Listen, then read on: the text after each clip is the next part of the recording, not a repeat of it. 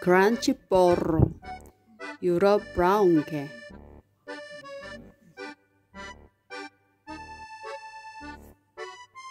이 영상에 저기 보이는 저것들이 턱다리예요. 턱다리들이라고 해야 되겠죠. 많아요. 무수하게 많아요. 꼭 이쑤시개 같이 막 그러는데 저 덮개 두 개가 어, 턱이고 그 안에 열면 저렇게 잔발이 많이 있거든요. 저것들을 턱다리라고 불러요. 그래서 어, 턱다리들 한 10개 정도 돼요. 어, 나중에 다시 세봐야 되겠지만 하여튼 저것들이 이 입안에 음식 집어넣고 그런 역할을 한다고 예 그럽니다.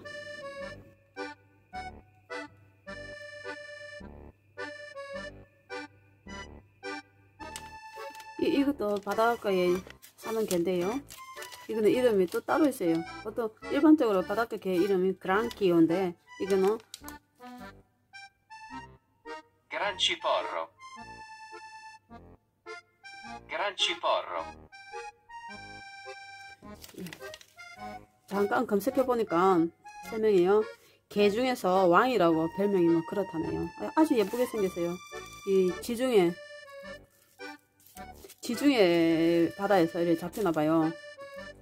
그러니까 근해에서 잡힌다고 보죠. 이게 이태리 지중해니까요. 지중해에 섞여 있으니까 생김새가 아주 예뻐요. 왕이라고 보기만 하겠어요.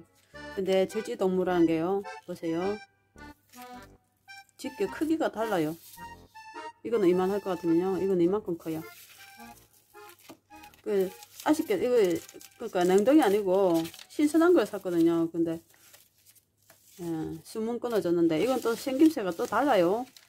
일반적인 개는 맨 마지막에 이게 이게 뭐죠? 꼭배 노같이 둥글스름하게 이렇게 생겼거든요.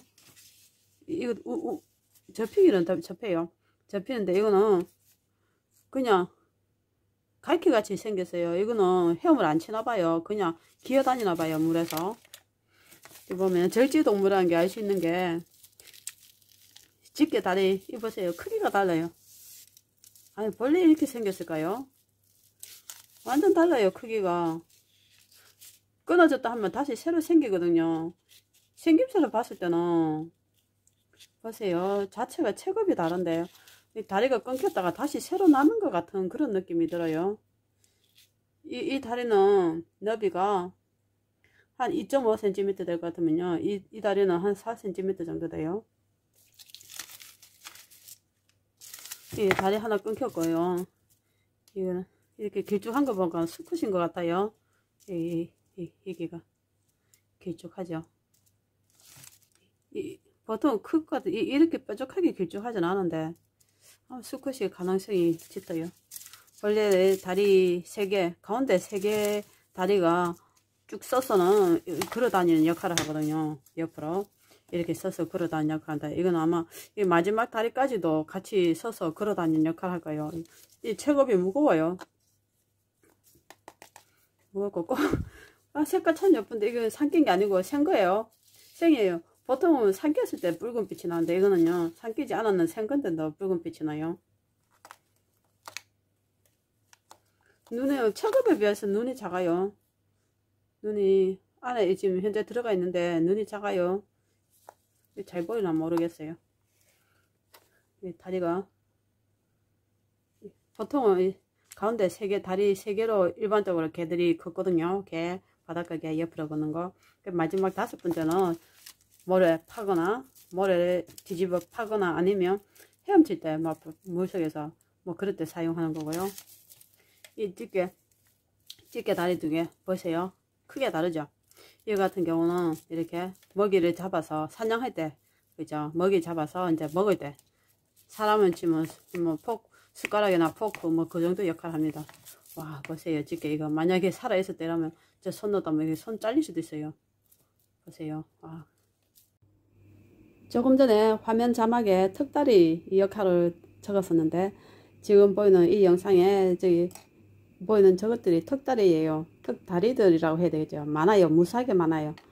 꼭 이쑤시개 같이 막 그러는데 저 덮개 두 개가 어, 턱이고 그 안에 열면 저렇게 잔발이 많이 있거든요. 저것들을 턱다리라고 불러요. 그래서 어, 턱다리들 한 10개 정도 돼요. 나중에 다시 쇠봐야 되겠지만 하여튼 저것들이 이 입안에 음식을 집어넣고 뭐 그런 역할을 한다고 예 그럽니다.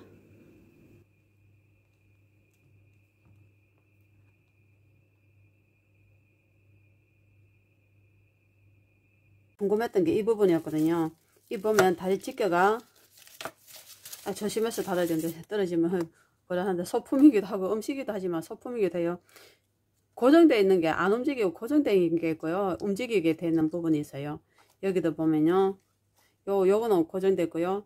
이, 이, 이게 움직이는데 이게 궁금했던 게 다리가 위에 해당되는 집게가 움직일지 아니면 아래에 있는 집게가 움직이는지 너무 궁금했거든요. 그때 제가 다른 곳에 있는 집게 다리를 하나 떼와서 붙여봤었단 말이에요. 그랬을 때 어느 쪽에서 그 이제 미처 몰랐죠. 배관을 제가 관찰을 못했으니까 두 개 다 움직이는 거 하나는 고정이 됐고 하나는 움직이는데 그 움직이는 것이 어느 방향에서 움직이는지 제가 몰랐어요. 그냥 무심코 떼왔기 때문에 좌우 대칭이니까 이거는 위, 위 움직이도록 되는 그 집게가 위쪽에 오네요. 고정된 집게는 이제 아래쪽에 있고요. 위에 있는 집게가 움직이는 겁니다. 예. 이, 이것은 이제 먹이, 먹이 사냥할 때 아니면 전투할 때 천적이랑 적들과 싸울 때, 적수와 싸울 때, 공격할 때도 있고 공격 무기로 사용되기도 하고 아니면 자기 보호할 때 사용한다는 역할을 하고요. 이거 같은 경우는 모르겠어요. 생김새가 좀 달라요. 뾰족하게. 그 너처럼 둥그스름하게 배 넣어졌는 배 있잖아요. 그 보트 그런데 보면 그 보트 너 어, 같이 생기지 않았잖아요. 그러니까 이거는 바다 속에서 헤엄을 치지 않고 그냥 바다 물 속에서 그냥 물 속에서 걸어다니는 개일 수도 있겠다는 생각이 들어요.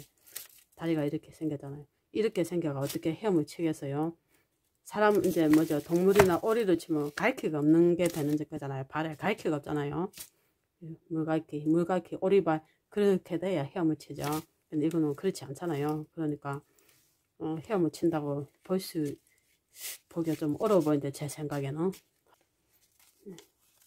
이해를 넣기 위해서 이게 종이 줄자인데요. 이래요. 여기서 이렇게 눕혔을 때는요 3cm가 안 돼요. 이 가운데 이 이렇게 왔을 때는요. 이거 같은 경우는 이랬을 때요. 와. 1, 2, 3, 4. 1, 2, 3, 4. 4.5. 4.5cm 정도 나옵니다. 그러니까 많이 차이가 납니다, 이게. 네. 크런치 뽀로. 예, 지금 삼키고 있습니다. 과연 어떤 맛일까요? 맛은 다 개맛이겠죠, 뭐. 드디어 삶았어요. 이래요.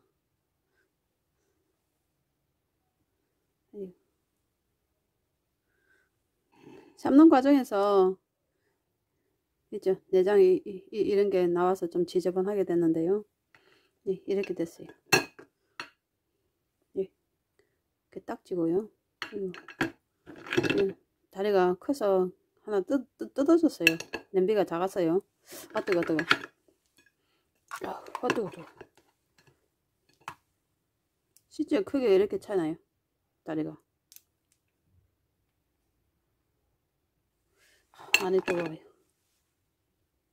이것이 위장인데요. 삼키니까 좀 줄어들었는데 단단해지기는 많이 단단해졌어요. 아까는 아주 물렁물렁했는데 지금은 단단해요. 이, 이 구멍이죠. 이, 이, 이, 이게 이제 입구예요.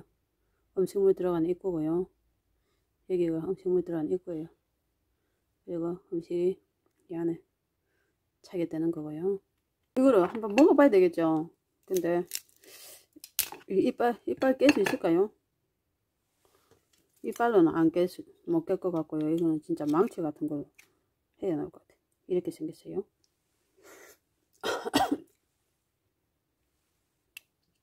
네. 보나피또 게살이 이게 약간 조금 신선도가 좀 떨어졌어요. 왜냐면 제가 이것도 구입하는 지가 며칠 됐어요. 제 영상에 나오는 재료들은 다 좀 시일이 좀 지났어요. 왜냐면 그냥 먹으면 되는데 이것도 이제 영상 소품으로 사용하려고 하다 보니까 자꾸 다른 영상들이 아직 편집을 안 해서 그냥 차곡차곡 사 있다 보니까 아 이거 다른 거 하고 좀더 조금 있다 좀 있다 이러다 보면 자꾸 넣는 거예요. 그래서 하고요. 좀 신선도 좀 떨어져 보이는데 본래 구입할 때는 싱싱한 거를 다 구입했습니다. 이건 어떻게 제가 이빨로는 못 깨요. 이거는 망치로 깨야 돼요. 망치로. 이거 이빨로 깨다가 제 이빨 나갑니다. 맛은 정말 좋아요. 망치 같은 걸로 깨봤는데요. 아이고 이거 깨기 어려워요. 잘못하면 이 싱크대 박살 나겠어요. 보너핏도 음, 맛있어요. 진작 먹을 걸 그랬어요.